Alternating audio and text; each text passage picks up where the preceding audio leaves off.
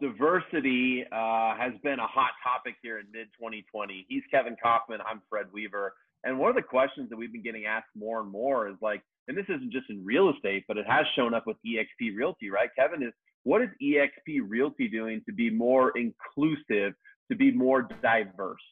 Right. So here's what I love about the company is they didn't just do this here in June or July, whenever you're listening to this of 2020. They put together something called One EXP, and this became an official uh, group and really a mission of the company over a year ago.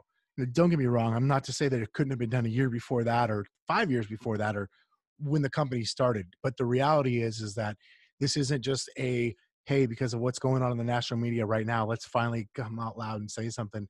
No, this is something that has been a part of this company's culture. It's one of the things that we love about this culture is it's inclusive and it's about diversity and all people from all walks of life and all backgrounds, etc., are welcome at eXp Realty. And if you want to get involved in that, you can. You can join one EXP. You can get involved in that initiative to make sure, in not just in your marketplace, but around the country and around the world, that more inclusion and more diversity happens the way it should.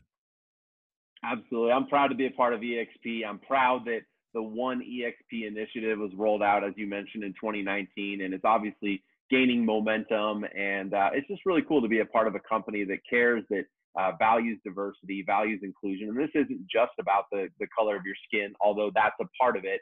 This is about being inclusive of everyone, regardless of your background and where you come from and what your beliefs are. So, um, just phenomenal to be a part of a forward thinking company like that. And uh, I wish there was more, and I hope more will join on. But uh, if you're interested in more information on EXP, you'd like to know how something else works, please visit us at kevinandfred.com slash EXP. You can fill out a form there on the website that goes directly to Kevin and I. We'll be the only two that see it. We'd love to reach out to you and talk to you more about uh, your exploration process of EXP and share with you more about wh- why we joined. So thanks so much for watching and thanks so much for joining us.